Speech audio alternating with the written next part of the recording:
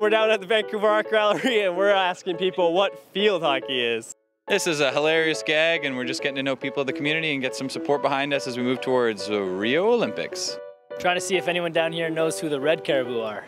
And looking to see what kind of funny answers we get when we show them one of these. Have you ever heard of field hockey? Yes, Okay, did you know it was an Olympic sport? yes, I know it's Canada's national sport. No, no, field hockey. Do you mind if I ask you a couple of quick questions? Yeah. And your dog?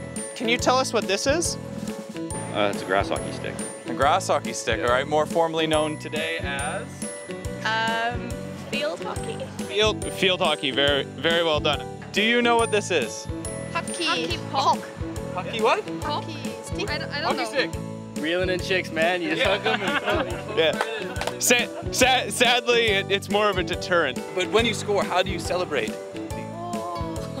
no, there's one way. Yeah. We hold our sticks high, Yeah. like this. Oh. You know how to hold it? Can you show me how to hold it? So we're members of the Red Caribou, so we're seeing if anyone from the animal kingdom can recognize a red caribou when they see it.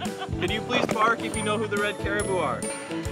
Yeah, that's that's pretty good. Maybe right hand a bit lower. I feel like this is important somehow. Yeah. Am I doing all right like that? I, I played regular hockey most of my life, That's so I wouldn't that's know that. it's You know?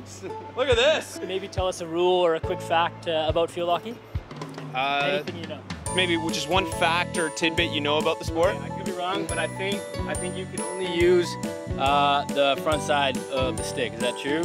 That's that's dead on. I, I think you're not allowed to touch uh, sticks. Is that a, is that a thing? You're not allowed to hit the other stick?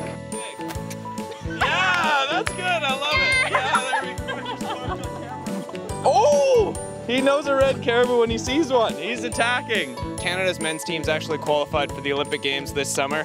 So, for uh, af- after missing out on London, the men are going to be in Rio. So, thanks for. Are you are you on the team? We are. All four of us are uh, part of the team. So, thanks for having a little fun with us.